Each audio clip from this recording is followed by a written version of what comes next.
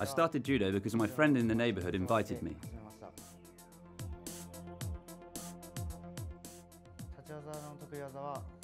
My favorite technique in Tachiwaza is Seoi-nage.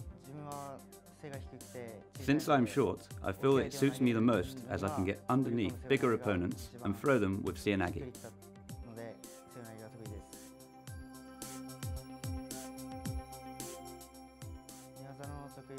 My favorite technique in Newaza is Ushiro-kesa-gatame.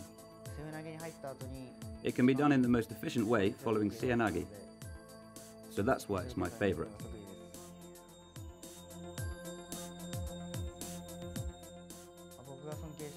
My judo hero is Mr. Tadahiro Nomura. He is a three-time Olympic champion and I compete in the same division as he did. I admire him a lot.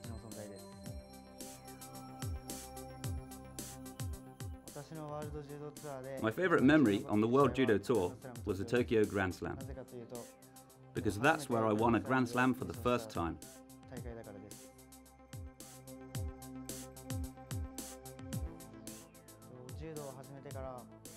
I feel that my personality has grown since I started judo. And that's why judo for me is life itself.